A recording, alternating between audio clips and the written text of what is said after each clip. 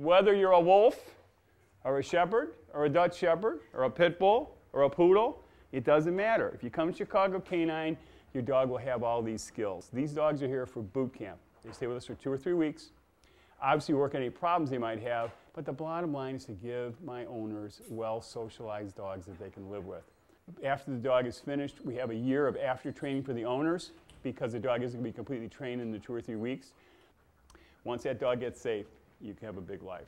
Trained dogs are trustworthy. This little boy is in no more danger than he would be with his mom and dad. Trained dogs are respectful of your pack. They know innately, because of the way I treat him, that he's special to me. They would never aggress on him. But that's another thing you offer your dog by giving her rules and security.